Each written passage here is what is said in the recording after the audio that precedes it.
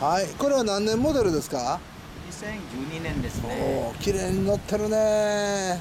ちょっと手作り全部あの自作。でおお素晴らしい。もう日本来てどれぐらいになるんですか？20年近いね、もうほんならもう聞か聞聞かしはりました？えーそうなんです。イタリアではないんですね。あもう永住権取りはったよね。永住権だけなんで、久々に娘が、あの説得してバイク乗ってくれたな。ああオッケーイエ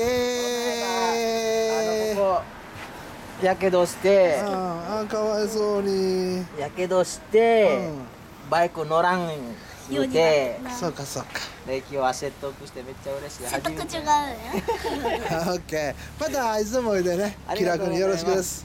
またお会いしましょまた話しましょう。す。ありがとうございますうっす。うっす。うっすええポーズだ。またテレビ見といてな文字にしたら映るからね。よ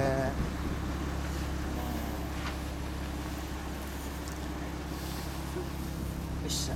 また YouTube アップしとくんで。はい。また海外の友達にも見せといてください。見ますねあもう今日はもうほんまに嬉しいわ。いやいやもうももっともっと早く来てくれたらよかったのに、ね6回目やったの。いや6回目でもいつも言うけど何回言うてるって言われて。絶対い。ろんなバイク見れるしね。ね。うん、ちっちゃいのから大きいのから。一応あのこれこの間買ったばっかりなんで、ああはいはいはいそやもんね。ナンバープレート新しいもんね。2月登録やから。うん。これでもう一台 CBR が。あダブル R 持ってんの？あのブラックバードの1個前なんです、はいはいはいはい。CBR のあのあれやね。はいあの1個前のサンダそうそうそうーねオッケー。あだからあのインドネシアの友達にインドネシア語で。友達にどうぞ。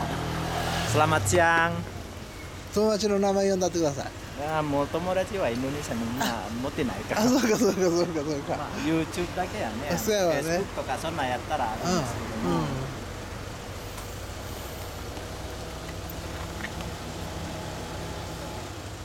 今からうん、空手の試合。でも見に行きますんで。了解です。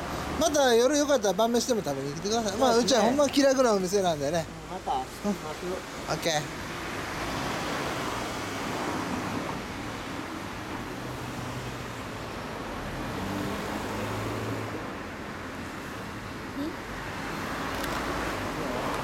ください。